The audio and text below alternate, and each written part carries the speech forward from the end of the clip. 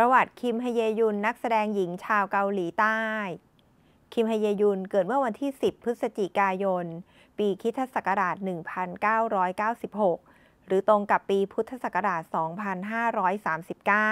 2539 เธอเป็นผู้หญิงที่มีส่วนสูง 160 เซนติเมตร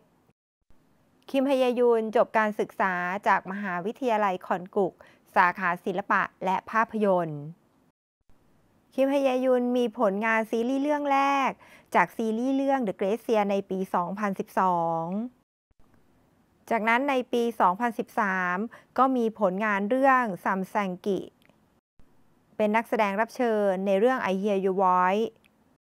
ปี 2014 ผลงานซีรีส์เรื่อง Bad Guy ปี 2016 มีผลงานซีรีส์เรื่อง Shopping King หลุย ปี 2017 เรื่อง Channel และ Man Who Sets the Table นอกจากนี้ยังเป็นนักแสดงรับเชิญในซีรีส์เรื่อง Queen of the Ring ปี 2018 เธอเป็นที่รู้จักและถูกจดจำมากขึ้นในซีรีส์เรื่อง Sky Caster จากนั้นในปี 2019 เธอก็ได้รับบทนำคู่กับโรอุน SF9 จากซีรีส์แนวแฟนตาซีเรื่อง Extraordinary You ปี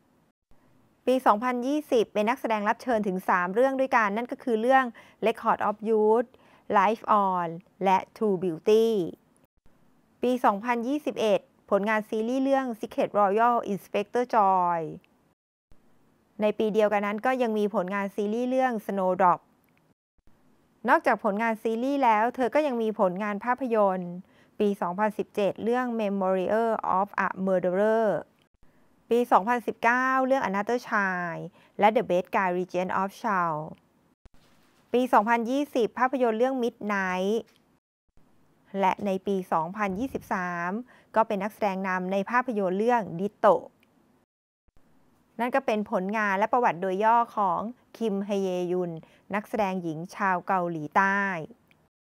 เป็นนักแสดงที่มีการพัฒนาฝีมืออย่างต่อเนื่อง จากบทบาทของนักแสดงสมทบสู่บทบาทนักแสดงนำ น่าชื่นชมมากสำหรับคลิปนี้ขอบคุณท่านผู้ชมที่ติดตามรับชม และฝากติดตามผลงานของคิมฮเยยุนด้วยนะคะ สวัสดีค่ะ